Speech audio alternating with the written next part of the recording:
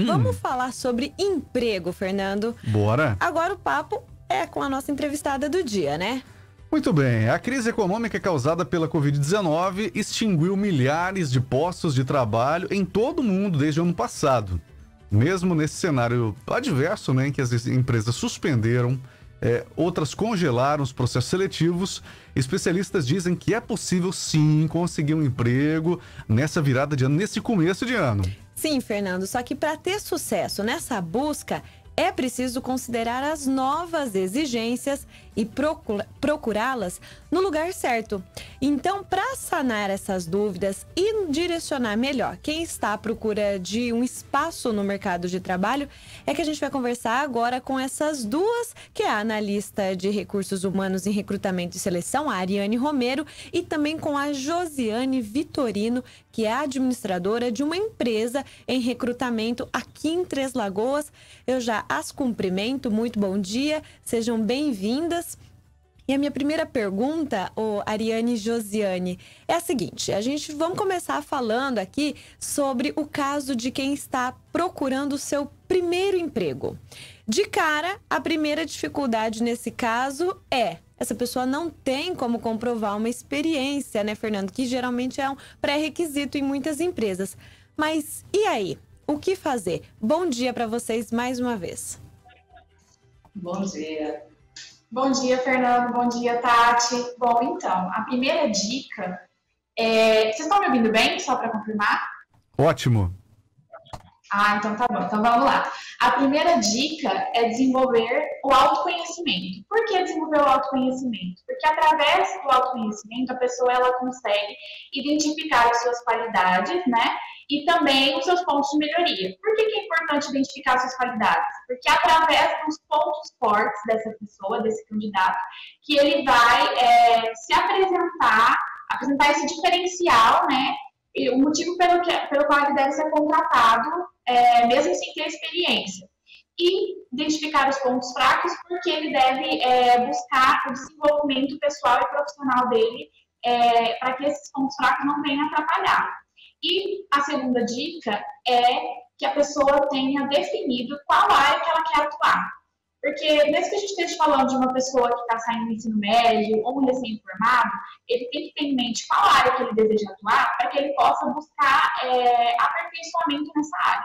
Que quanto mais conhecimento, melhor. Porque se a pessoa não tem experiência, o diferencial dela é o quê? São as competências, né, as características individuais e também o conhecimento. Então, mesmo que não tenha experiência, ele tem que saber é, a teoria, como se faz, tá? E a terceira dica, que também é muito importante, é, na verdade, ela vem ainda no processo de formação, que é aproveitar as oportunidades de porta de entrada para as empresas, que são as oportunidades de menor e jovem aprendiz e as oportunidades de estagiário. Por quê? Porque por meio dessas oportunidades, muitos jovens eles conseguem é, mostrar o seu perfil profissional para as empresas e algumas empresas elas até contratam já, eles saem do período de, de aprendizagem, do período de estágio e já ficam na empresa, já começam a sua, a sua carreira nessa empresa.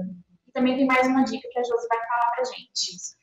Tem uma coisa que as pessoas costumam não colocar em currículo porque não tem como comprovar na carteira, né? Mas são coisas que eu julgo fundamental, que pode ajudar para quem não tem essa experiência profissional, que são aquelas experiências informais.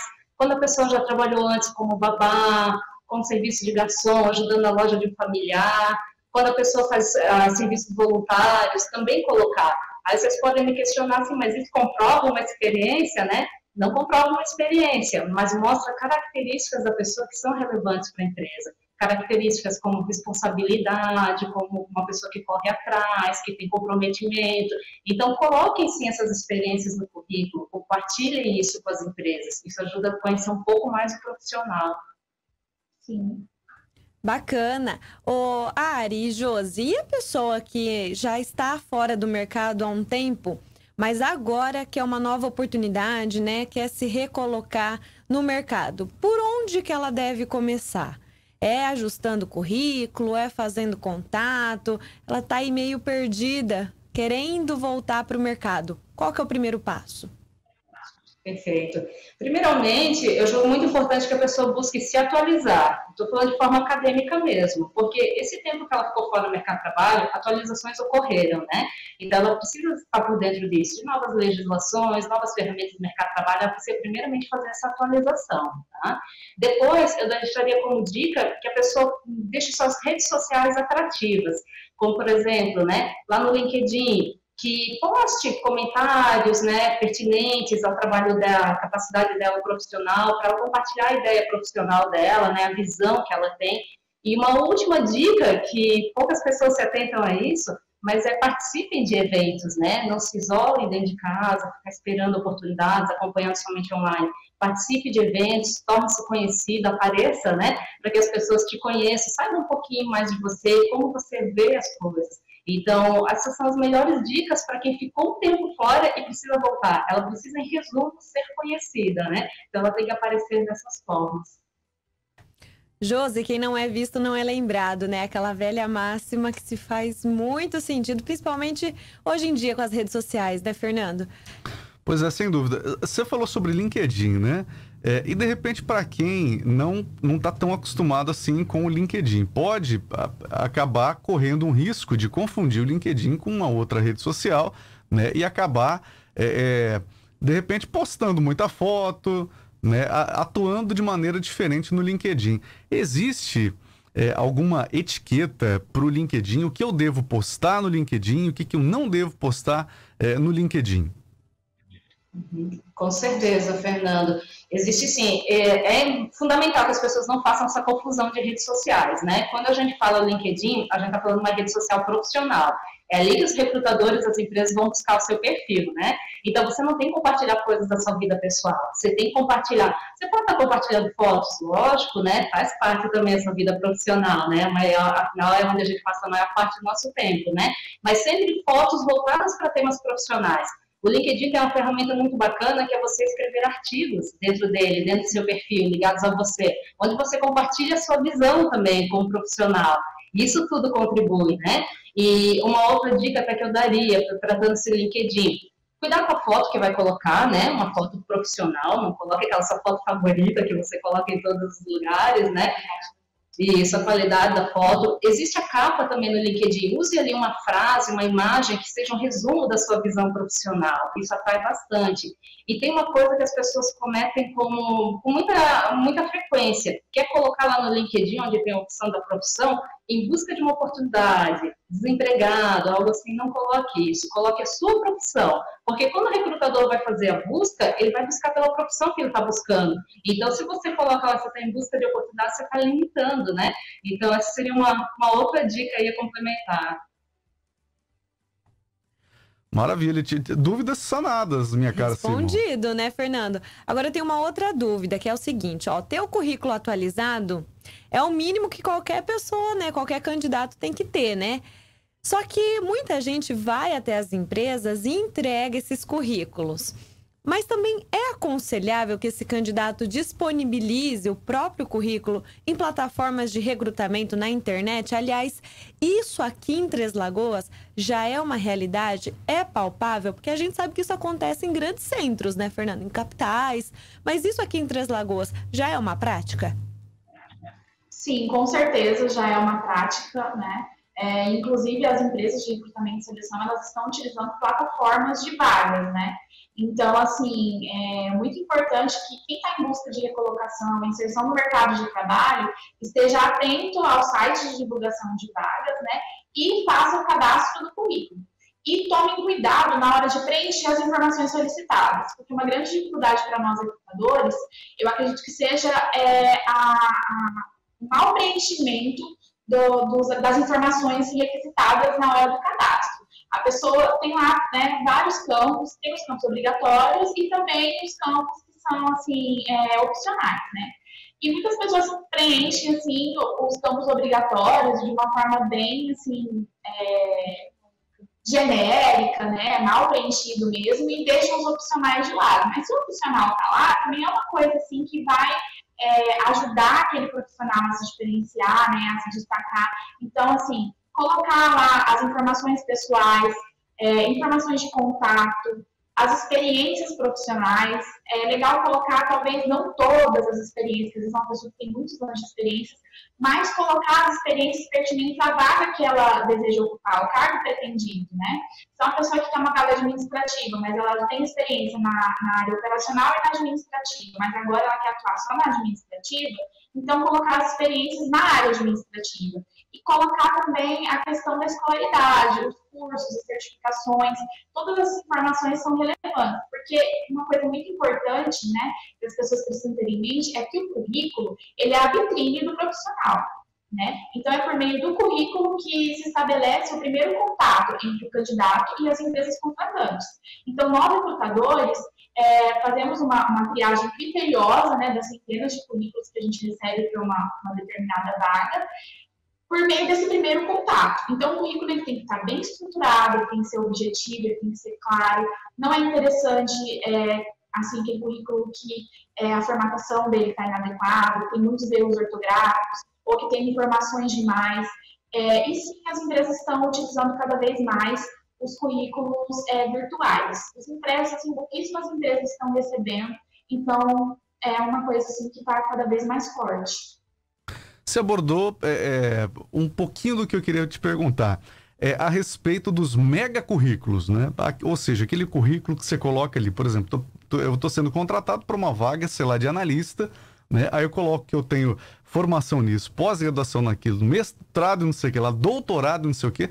Às vezes, ainda mais por conta da pandemia, né, Tati? Algumas pessoas é, estão à disposição do mercado de trabalho, estão desesperadas atrás de uma vaga e de repente estão se candidatando para uma vaga né, que receba um pouco menos do que ela está acostumada.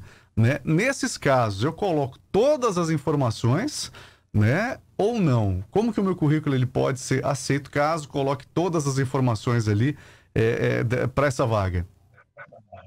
O grande, um grande erro, né, é, foi legal você ter falado do currículo extenso. O currículo ele deve ser objetivo e claro, como eu disse, então um currículo de no máximo duas páginas. Tá? Aquele currículo muito extenso, ele dificulta a triagem, né? ele dificulta a, a, a visibilidade do recrutador, porque o recrutador vai olhar assim, é, a, ele tem que bater o olho no seu currículo, o currículo tem que ser atrativo. Se for um currículo que tem muitas informações desnecessárias, muitas vezes o, o recrutador pode até já descartar, descartar aquele currículo.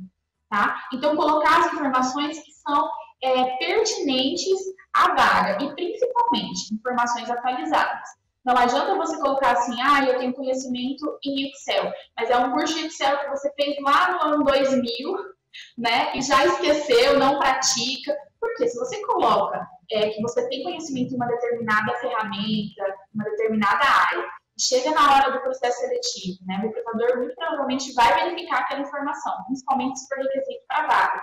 E você, é, você vai acabar né, se, se comprometendo por quê? Porque você não tem mais aquele conhecimento. Você perde a sua credibilidade com aquele recrutador. Então, você queima a sua imagem.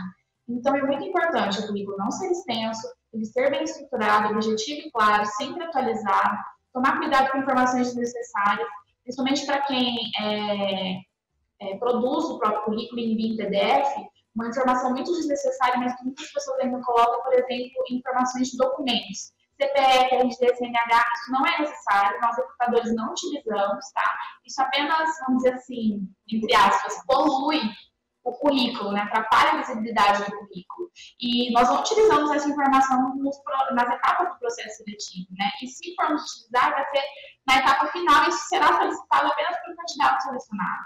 Então, tem sim que tomar cuidado com essas questões. Fernando, eu vou pedir esse espaço para complementar o que a Ariane falou, né, essa questão do conhecimento, tá? Ah, uma grande dificuldade que as empresas encontram, até eu posso falar com, com, com certeza, pela experiência que eu trago como administradora de grandes empresas também, uma grande dificuldade, as pessoas têm diploma, mas não têm conhecimento. Tá? Isso acontece com muita frequência. E a pessoa, aquela pessoa que vai fazer o curso, né, mas por fazer, porque só busca um diploma, e chega na hora de comprovar, não tem, não tem conhecimento, né? Então, está cada vez mais comum praticar, aplicar testes mesmo, né, no ato da seleção, para confirmar se a pessoa tem esse conhecimento ou não. Então, não é só colocar no currículo, em algum momento a pessoa vai ter que comprovar. Maravilha. Ô, Simon, surgiu uma dúvida aqui hum. é, a respeito do pós-pandemia, né?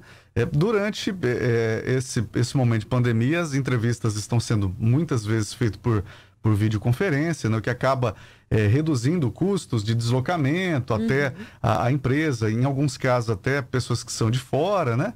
É, na, na, opinião de vocês, no pós-pandemia, isso deve continuar? As entrevistas por videoconferência ou as entrevistas por videoconferência elas são muito, é, muito frias, não, não há aquela aproximação do candidato, não tem aquele quebra-gelo, é mais direto e reto e não dá para sentir é, o profissional. Pós-pandemia, as entrevistas por videoconferência devem continuar ou não? Bom, apenas para contextualizar, né, antes mesmo da pandemia, nós recrutadores já estávamos utilizando as entrevistas online e também os vídeos de apresentação. É, às vezes, no ato da candidatura para uma vaga, o candidato já recebia ali uma, uma orientação para enviar um vídeo se apresentando. Ao invés de mandar simplesmente o currículo, ele mandava o vídeo, né, apresentando ele mesmo, né, assim, suas informações pessoais, como profissional, e às vezes respondendo uma pergunta. Um vídeo ele breve, no máximo um minuto, dois minutos, tá? Então, isso já era uma coisa utilizada antes. Com a pandemia, né, todos nós tivemos que nos adaptar, no mundo corporativo não foi diferente. Para nós, recrutadores, é, para que o nosso trabalho não fosse interrompido por completo, nós tivemos que buscar nas entrevistas online um meio de dar continuidade para os processos seletivos. Então, na época em que nós estávamos é, no distanciamento social, bem assim, é, forte, né? Nós não podíamos mesmo ter as etapas presenciais, as entrevistas foram feitas, as seleções foram feitas somente com entrevista online.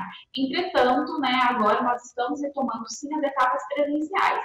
Eu acredito que no período pós-pandemia, essa ferramenta ela não vai cair em desuso, porque nós encontramos uma excelente ferramenta, né? E assim, ela aproxima as pessoas, você fala assim, ah, mas é, é frio não, ela aproxima. Tudo depende do modo como o recrutador vai conduzir a entrevista. Tá? Então, assim, às vezes nós vamos entrevistar um candidato de outra cidade, porque nós atuamos é, não só aqui em Três mas também na região. Então, trazer um candidato só para participar do processo seletivo aqui não faz sentido.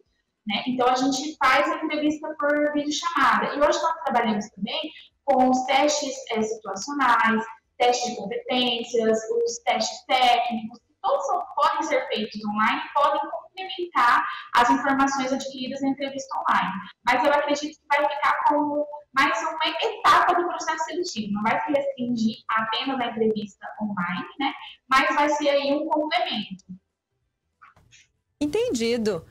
Ô, Fernando, uma série de dicas que elas já nos passaram, dicas, estratégias, macetes de como preparar um currículo, de como se posicionar, de como estar tá preparado mas eu queria, como uma última pergunta, Fernando, pedir para elas assim, ó, a cereja do bolo. Como que essa pessoa tem que estar tá confiante na hora da entrevista, na hora de um teste no emprego, para o emprego, né? Ainda que seja de maneira virtual, como que essa pessoa se prepara?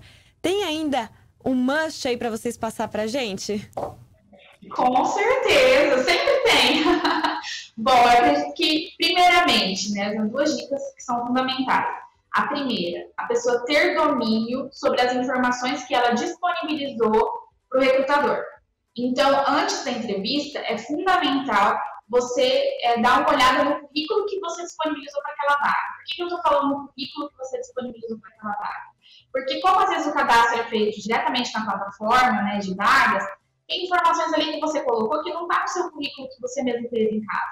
Então, acesse o portal de vaga, olhe o currículo que está lá quais as informações que estão presentes né, na, naquele currículo. Por quê? Porque em algum momento na, na etapa do processo seletivo, essas informações serão verificadas e você tem que estar preparado para é, se vender, né, para fazer ali o seu marketing e para mostrar o seu diferencial. A segunda dica é assim, é, se você foi, é, se você foi classificado para participar do processo seletivo, então, é porque o recrutador ele viu em você um potencial para conquistar aquela vaga. Então, agora está nas suas mãos demonstrar, confirmar essa, essa opinião, essa primeira impressão do recrutador. Então, seja você mesmo, tá? Não tente demonstrar que você tem domínio e conhecimento que você não tem, porque isso pode te prejudicar. Porque, assim, nós recrutadores não estamos buscando um profissional que conheça tudo, que domine todas as técnicas, até porque isso não existe, né? Como o profissional está sempre em atualização, é, até os profissionais mais experientes, eles sempre têm que estar buscando essas atualizações, novos conhecimentos, né? Então, assim, não tente demonstrar, eu sei tudo, eu conheço tudo, não. Nós não estamos buscando esse profissional. Nós buscamos um profissional que, é, que tenha né, o conhecimento, mas que, acima de tudo, tenha interesse, seja um candidato é, proativo, flexível, dinâmico, e que demonstre que, olha, eu talvez eu não tenha um conhecimento aprofundado em Excel, mas eu posso desenvolver esse conhecimento. Se você me der a oportunidade, eu vou correr atrás. É, então, assim, demonstrar que mesmo que você não seja ainda tão bom em alguma coisa, que você é aquele candidato que vai correr atrás, que vai se dedicar. Tá? E se você for escolhido, cumprir com tudo que você falou na entrevista. Isso é muito importante. Muito bem, anotou tudinho, Fernando? Anotadíssimo. E se você está aí à disposição do mercado de trabalho, de repente, há, há pessoas, Simão, que estão é, trabalhando, porém não estão felizes, ou de repente estão em uma vaga, estão né, fazendo o que, eh, de repente, diferente do que está eh, na formação delas, né? uhum. né? Então, de repente, dicas matadoras aí é para você se recolocar no mercado de trabalho ou para você migrar, né? Pular para o degrauzinho de cima é, aí no mercado de trabalho. Ou dentro da mesma empresa galgar, né, uma hierarquia, uma posição mais acima, porque essas dicas também valem para quem está empregado e quer, né, uma recolocação dentro da própria empresa. Por que não, né? Aliás, a gente pode ser uma, uma, um tema para a próxima entrevista, né? Para o próximo papo. Até porque, por conta da pandemia, algumas pessoas foram dispensadas, né? E algumas empresas não vão recontratar, vão reajustar ali dentro da, da empresa, fazer algumas adequações ali, é, é, promovendo algumas pessoas, né? Ótima pauta para a próxima entrevista, né? Já surgiu aqui a próxima pauta. Cabeça de jornalista é assim. Ai, Maravilha, ai. Fernando. Fernando, vamos agradecer as meninas. Ariane, muito obrigada. Josiane, muito obrigada pelo bate-papo. Sempre muito bem-vindas aqui no A Casa é Sua. Obrigada, viu?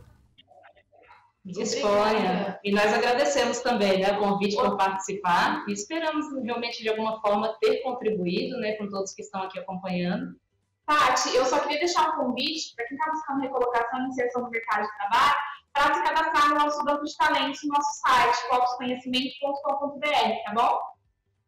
Maravilha, dado o recado, focusconhecimento.com.br. Quem está aí precisando, né, querendo cadastrar o currículo, participar de uma seleção de recrutamento, tá dado o recado. Fernando, muito bem, adorei nosso bate-papo, viu? Rendeu bastante. Também gostei da prosa. Melhor que isso, agora só é, é, assimilar isso aí, digerir isso tudo e colocar na prática, né? É verdade.